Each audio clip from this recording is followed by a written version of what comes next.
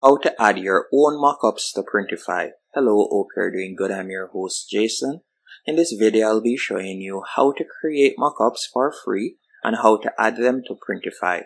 The first thing you want to do is open a new tab and you're going to go onto canva.com. And canva.com is a beginner friendly platform that you can use to create mockups for free. All you need to do is sign up using your email address.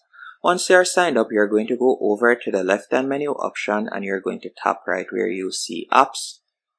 Then you're going to scroll down until you see mockups. You're going to tap on mockups. From here, I want you to select apparel or whatever item or type of item you're creating on Printify. You can select that particular category. But let's say, for example, we're creating t-shirts. We're going to select apparel then we're just going to tap on t-shirts. From there, you can get more specific, long sleeve t-shirt, men's t-shirt, women's t-shirt, kids t-shirt, unisex t-shirt. You can get more specific with it. Now let's say for example we were to select women's t-shirt. After doing that you can scroll down and you can see different images that you can use. Keep in mind any one of the images that you see with the crown that says pro you'd have to be a paid subscriber on Canva to use that particular template.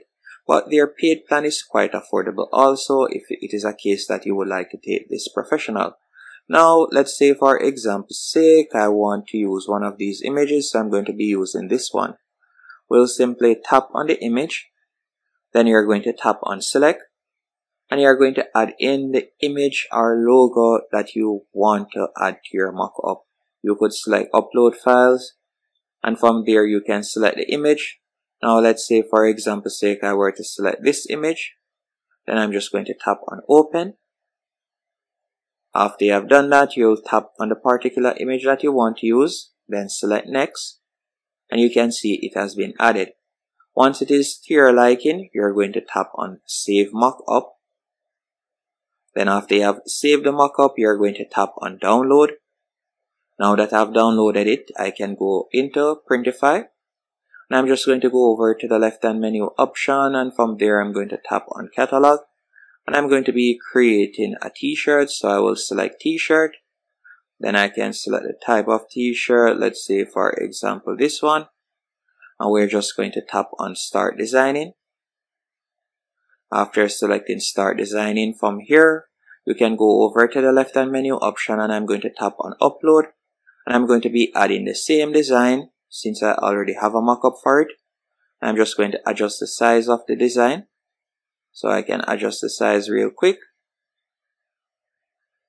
Once it is okay, we're just going to tap on save product in the bottom right hand corner. Once it has been saved, what I want you to do now is upload your own mockup. And to do this, you'll go over to the top left hand corner and select upload.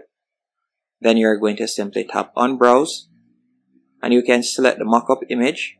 Then tap on open. After doing that, you're just going to tap on continue in the bottom right hand corner. Then tap on, you can select the product, so unlinked mockups, or you can select white, whichever one of these options you want. You can select the variant as you can see right there. Then you'll tap on confirm now after doing this, what you're going to do next, as you can see right there, we now have our mockup.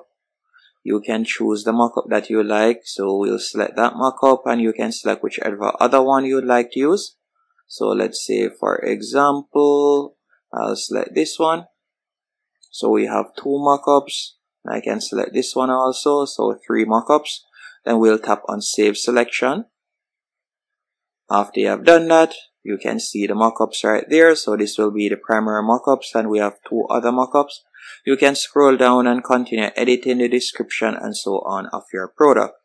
Once you're finished, you'll select publish and you're going to give it a few seconds while the product is being added to your store. In this case, it is being added to my Shopify store. So once you see publish come up right here, you can go into Shopify or whichever platform and you'll be able to see the mockups that you have added on your product. So let's say I were to go into Shopify and refresh the page. After doing that, you can see the product right here. So if I were to select view, you can see it right there, the mockup that I've created. Hope you found this tutorial helpful and informative.